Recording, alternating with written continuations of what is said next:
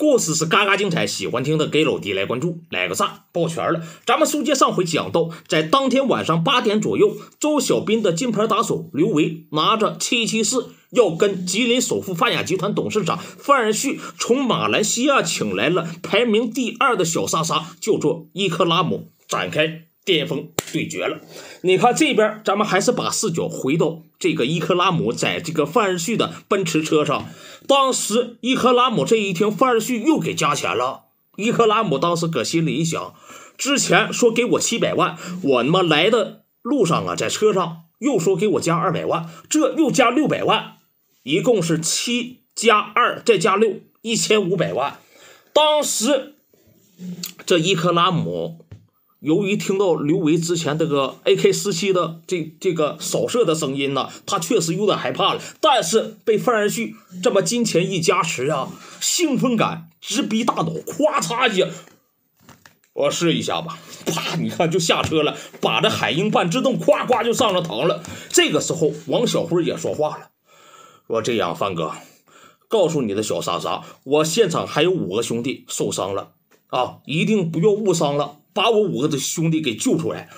当时范二旭说：“听到没有？把我兄弟的兄弟给救回来。”这当时伊克拉姆说：“好的。”这边王小辉说：“这样啊，我的兄弟全是穿的蓝色带领的那种上衣啊，你注意一下。”伊克拉姆说：“妥了，OK。”叭叭，你看伊克拉姆当时特别兴奋，叭叭也就穿出去，奔着刘维这边方向也就去了。当时由于过度的兴奋，他之前就开始跑上了，但是他是专业的，跑这种蛇形哦，这种步伐叭叭跑的老快了，叭叭跑了十米以后，他渐渐的恢复了专业的意识啊，啪嚓些卧倒了，直接伏步前进啊，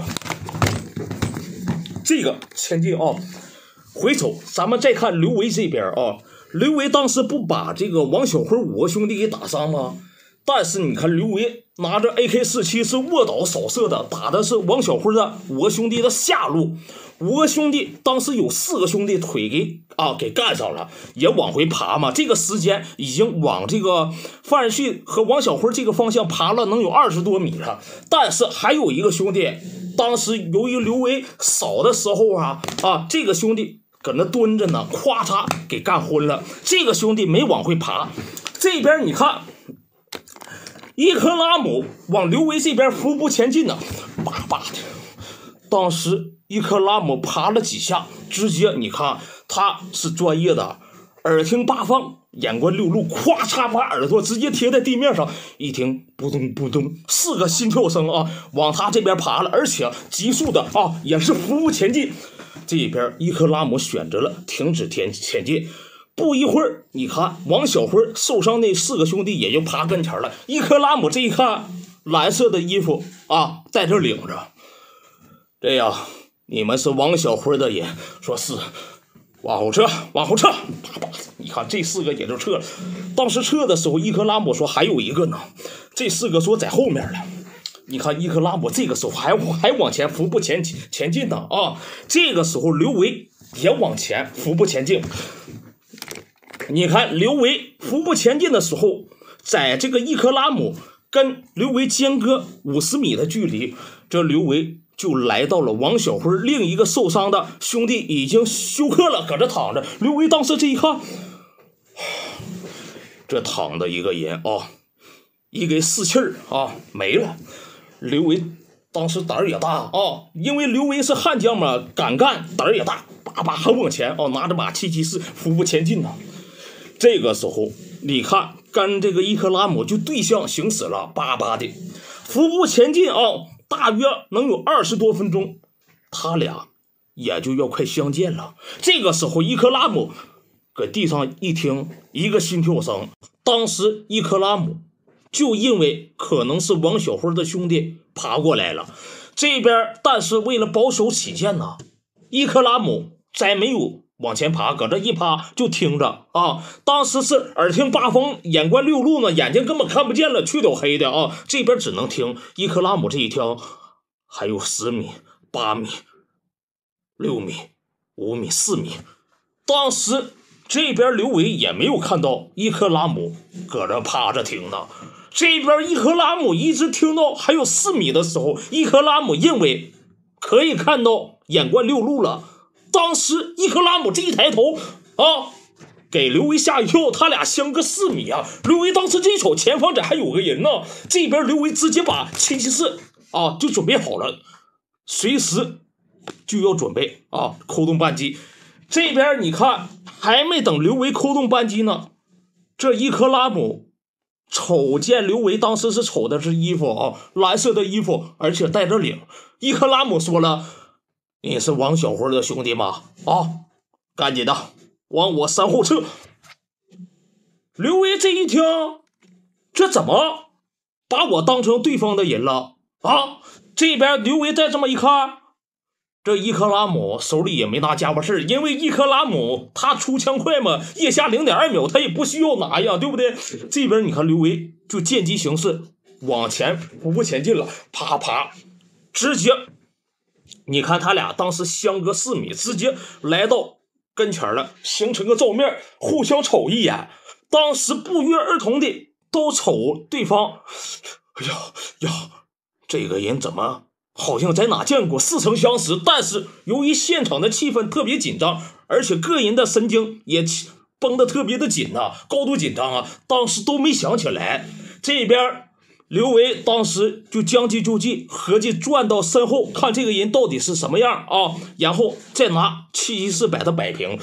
这边刘维也没想起来，伊克拉姆也没想起来，刘维。往这个伊克拉姆身后爬了两下，伊克拉姆当时这一下想起来了，那不是在这个幺零三包房啊见周小斌的那个兄弟吗？啊，瞅我的眼神也是直勾勾的。当时伊克拉姆想起来以后，直接你看就要行动了，因为他这个站起来是腋下零点二秒出枪嘛，那么他这个趴着得零点五到零点六秒吧。当时。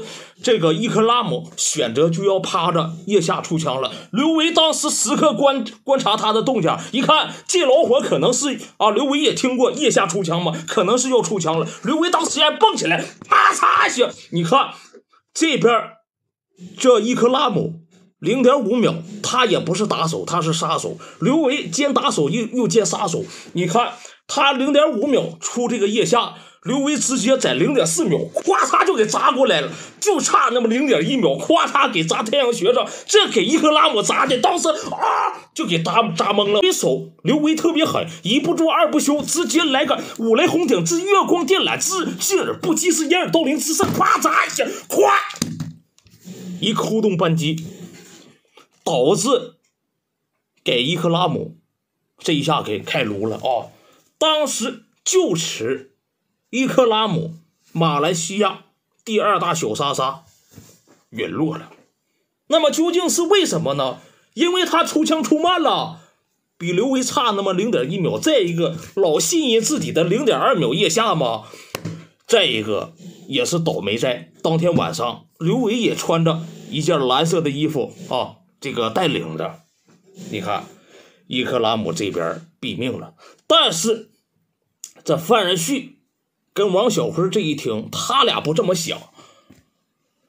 这王小辉跟范旭说：“范哥，这二十多分钟，终于听到声了。”这范旭说：“听到声了，听到声了。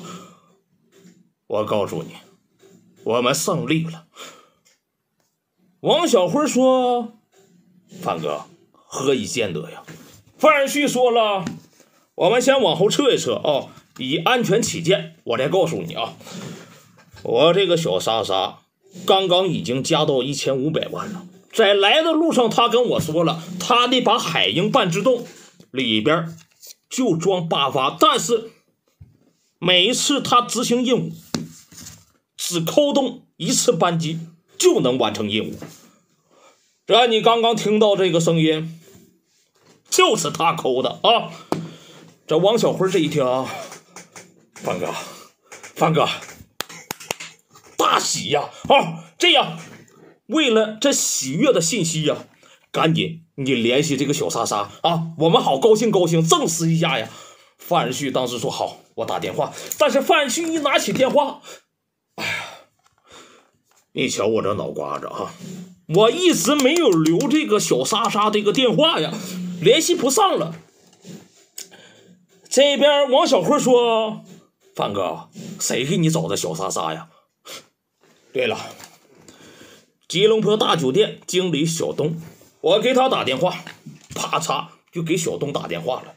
说小东啊，这边说，哎，范董事长，我在这个离小莎莎。一千米的地方，让他马上执行任务以后，赶紧回来。我这边没有他电话，你给他打过去，让他赶紧回来，或者给我打电话。这边小东这一听，好，范总啊，啪嚓这么一挂，你看小东当时就给这个伊克拉姆打去电话了。这边刘伟把伊克拉姆销户以后啊，刘伟选择还要服部。前进呢，往前再上一上，要把范二旭给干掉。刘威就这种性格，我今天死，我要替周公子把范二旭给干掉啊！当时你看，啪啪往前伏步前进呢。这个时候，刘维就听见了身后的电话声响，不楞不楞不楞不楞，一个劲响啊，左一遍右一遍。刘维这一看，行了，我得回去接个电话吧。当时从这个伊克拉姆兜里就把电话掏出来了，这一带。还有这个护照都带出来了。刘维这么一看，这不护照吗？当当时把护照握在手里，电话也就给接了。这边这个吉隆坡大酒店的经理小东说了：“伊克拉姆，你现在在什么方位了？这边这样，范董事长，你的老板，在离你那个。”地方大约一千米的地方，你执行完任务，赶紧往回往回赶，找你的老板。这刘维当时这一听，刘维啊，低声低声细语的说：“啊，那个你是哪里？你在哪里？”这边小东这一听，当时下意识说：“我是哪里？”我是吉隆坡大酒店的啊！我现在也在吉隆坡吉隆坡大酒店了。刚话音刚落，刘维当时说了：“你说那个叫什么拉姆，已经死了。”这吉隆坡大酒店的经理小东这么一听啊，拉姆死了。再一个，刚刚这个人说话低声细语，我没有听清。这个时候听清了，确实不是拉姆的声音呢。完了，祸从口出啊！刚刚我说了我不该说的话，我在吉隆坡大酒店了。这个时候，小东再也没有说话，啪嚓把电话给挂了。这边你看，就是这个电话说我是吉隆坡大酒店的，我在吉隆坡大酒店了，导致之后吉隆坡大酒店因为这个事儿永久的关门了。这边急三火四下，这小东就把电话打给了范二旭。这范二旭一接，哎，小东啊，范总，伊克拉姆怎么了？凶多吉少了。小东，我花七百万，我打款给打三百万。刚刚响了一声枪声，你告诉我他凶多吉少了。那这么说，他连扳机都没扣，我花三百万雇了马来西亚第二小莎莎，连扳机都没有扣。小东说：“范总，你息怒，这样，你再加两个钱我马上给你联系马来西亚第一小莎莎，马上让他过去给你战斗。”范尔旭说：“胡扯！”挂了，叭叭。范尔旭一挂，王小慧说：“范哥，怎么了？我们输了。这个小莎莎凶多吉少了。”王小辉说：“范哥，怎么会发生这种事呢？那怎么办呢？”范尔旭说。赶紧撤吧，我们别在这现场了，以免陷到这个局子里面。好，赶紧撤，赶紧撤！叭叭，你看这边也就跑了。这刘维当时还想要往这个这个范旭跟王小辉这个车队这边啊伏步前进要去呢，这一看车全启动了，打着大灯，叭叭全跑了。这刘维当时这一看，算你们跑得快。刘维回身，当时来到伊克拉姆身边，这一瞅，还有一个海鹰半自动，咵嚓也给捡起来了，拿着当时那本啊就护照，也就来到了廖军的跟前啊。当时廖军这边不缠着绷带吗？这边刘维一扶廖军，维哥，疼疼，你没事吧？我这胳膊好像是断了，赶紧回去。刘维这边扶着廖军也就回去了，直接来到木林河煤矿门口啊。这个宝马车上，当时这个呃刘汉在这个主驾驶嘛，这他们俩上这个副驾驶了。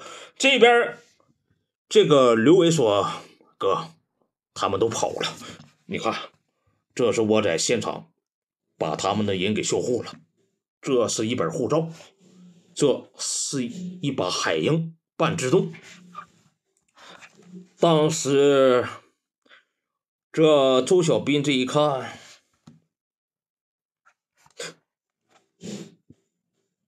这是吉隆坡的护照。这当时刘伟说：“哥，我还接到一个电话，说吉隆坡那边打来的，吉隆坡大酒店。”说他啊，让这个范二旭什么什么这那的啊。当时这周小斌这一看，哼，今天晚上的火拼，不但范二旭跟王小辉都参加了，可能跟吉隆坡大酒店也有密切的关系。这样，廖军受伤了是吧？这我算在吉隆坡大酒店和范二旭、王小辉的身上。这样，他们跑了是吧？刘汉，你把电话打给王小辉。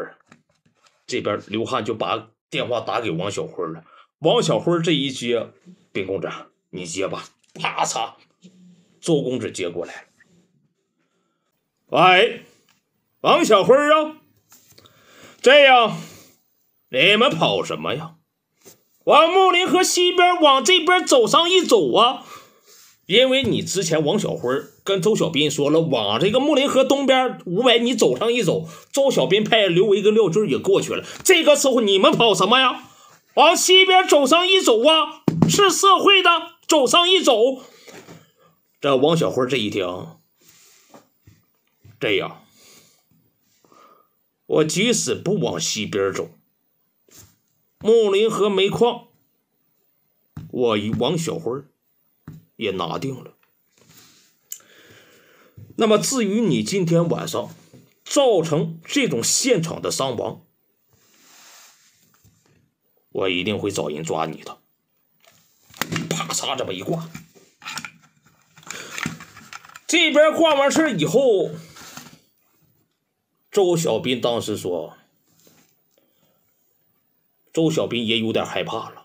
周小斌不是真正的害怕，因为王小辉说要抓他，也就是抓进去，他爸也能把他捞出来。但是抓进去以后，木林河煤矿这边这股份也就废了，小营峡的那个长春的高速工程也就废了，还有六天就正式招标了。周小斌一再选择顾全大局，刘汉。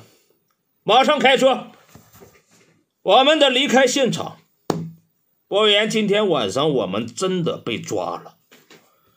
刘汉当时把车给启动着了，毕公子，我哥往哪去呀？周公子说：“赶紧开车，最危险的地方，也就是最安全的地方，往吉林四平市区干。”刘汉这一看。还是兵公子反其道而行之，好，啪嚓一脚油门就干出去了。周公子说：“快点给我开，以免像那天晚上啊，这边在半路给拦截了。今天晚上我们没有带这个小五五、小平头哥，对不对？快点开！叭叭，也就往这个吉林四平的市区开了啊。你看，在半路上，这王小辉跟这个范旭当时在在这个同一辆车上，王小辉就把电话打给了他爸爸，这个吉林小四市叫做王成成。喂，爸，小辉呀，今天晚上那个叫周小斌的，在这个咱们吉林四平啊木林河煤矿往东五百米，归咱们四平管。他在那又扣动扳机了。这王成成这一听，小辉呀，你实话跟我说。你扣没扣动扳机呀，爸？我们火拼能不扣动扳机吗？你扣动扳机，你让我怎么去拿捏周小斌呢？我去拿捏周小斌，因为有周大老板，我得找你舅爷。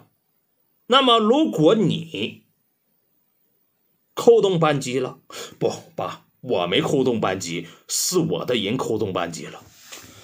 那周小斌扣动扳机了吗？啊，他好像也没有。那不还是一样吗？你的人扣动扳机了，周小斌的人扣动扳机了，怎么能把周小斌给抓起来呢？如果抓周小斌，你也得搭进去，你知道吗，爸？但是我我咽不下这口气呀！啊，咱们在吉林四平，你是小四四，我们就这么吃亏了？这样，你说扣动扳机有伤亡了是吧？按正常程序走。再一个呢，这边呢选择放手。把木林河煤矿的股份还给他，不然你刘芳的煤矿也得丢。爸，为什么？为什么？因为我是你爹，我不会害你的。啪嚓响，你看，这王成成把电话这一挂，王小辉当时气够呛。范哥，你爸怎么说的呀？我爸说。这个事管不了，要我放手木林河煤矿。这范二旭这一听，这样，现场达到这种程度了，你爸必须得管。我要给你爸打电话，啪嚓，你看范二旭就把电话打给了王成成。这边王成成一接，范二旭说：“这样，王试试，我跟你家的小辉在一个车上。”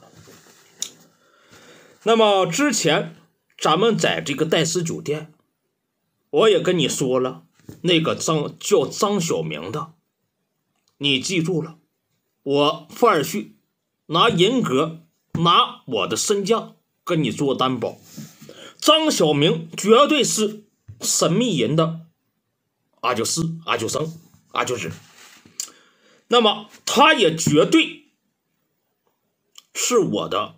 治好的朋友，你这边不用顾虑周大老板的问题，你就放手的干，因为我也看到王小辉的成长了。王小辉能驾驭刘房的煤矿，更能驾驭木林河煤煤矿。这当时王四四这一听，范总，你说的是当真是吧？你拿人格跟身价担保，行，那我姑且相信你一次。但是，我这边也有很大的顾虑。我要办周小斌的话，不是周大老板，而是中间还有一个人，是我的顶头上司，吉林白道一把，叫做小王敏。他是不会让的，就说他也是绊脚石。这边范二旭说：“小王敏，我来说，好办，王敏也是我至交的朋友。这王思思这一听，行，那我先着手办。范二旭说：“这样，你不用太苛刻了，只要把周小兵他们这一行抓了，关个一个礼拜到半个月，也就够用了。这边木林河煤矿也就到手了。但是你看，这范二旭还有私心呐。”这还有这个长春这边还有六天，这高速这个招标会议也开了，你关他七天半个月，我这边也成功了，但是他不能向这个王成成说呀。王成成这一听，行，我要马上办，啪嚓这么一挂。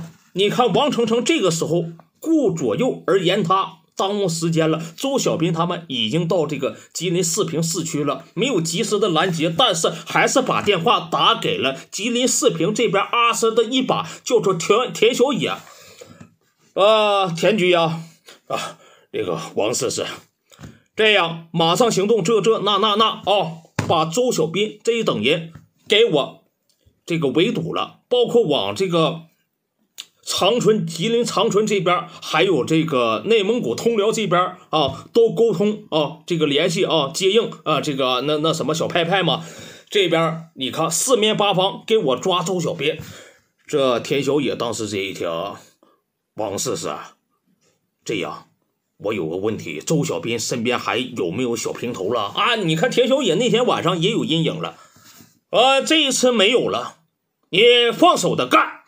田小野说：“是，马上行动。”咔嚓，你看，田小野在这么九点多钟也就开始要抓周小斌了。此时，周小斌这边在这个吉林市区九点多钟能到哪里去呢？能不能被抓呢？